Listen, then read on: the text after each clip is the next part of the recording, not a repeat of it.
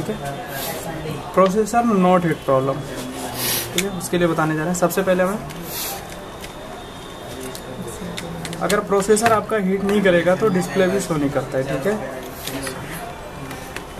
तो सबसे पहले हम कैसे पता लगाएँगे प्रोसेसर हीट कर रहा है या नहीं कर रहा है? वो इस तरह से। प्रोसेसर का जो हीट सिंक फ़ैन होता है, वो खोल लेना है आप।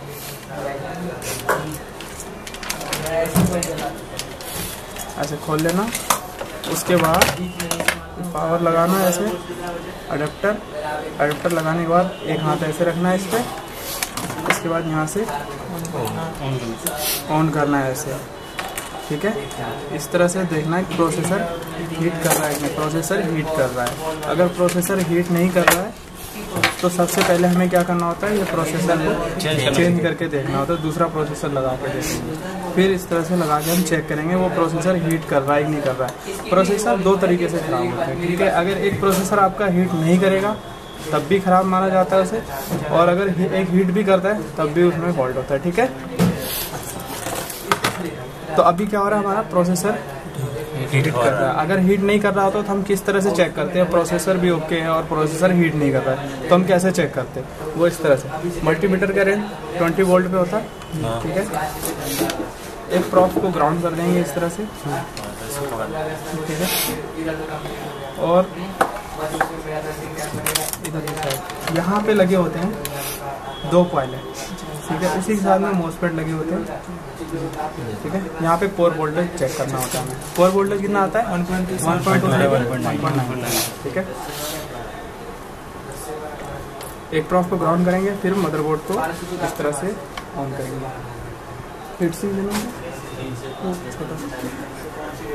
golden colour golden का अभी तो ये हिट कर रहा है। ना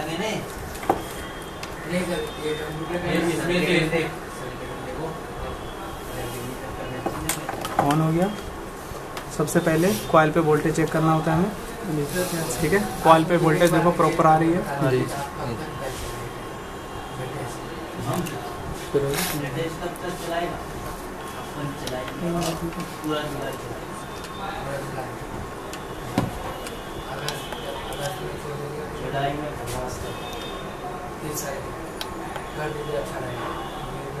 ठीक है? वोल्टेज प्रॉपर है। अगर कॉइल पे वोल्टेज आ रही है तो इसका मतलब है वोल्टेज हमें उधर से मिल रहा है। प्रॉब्लम किसमें? है प्रोसेसर में या फिर सीपीयू सॉफ्टवेयर में ठीक है? तो उस अगर उसके साथ में मोसपेट लगा तो मोसपेट भी आप कर सकते हो दो तरह के मोसपेट लगे होते हैं इसमें। एक मोसपेट में आपका 19 वोल्ट आएगा और दूसरे पे फोर वोल्टेज आएगा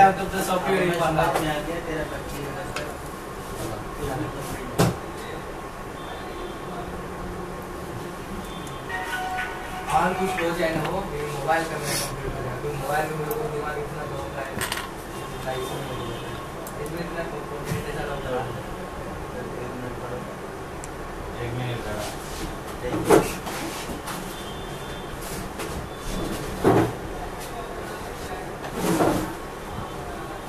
सर कट कर दीजिए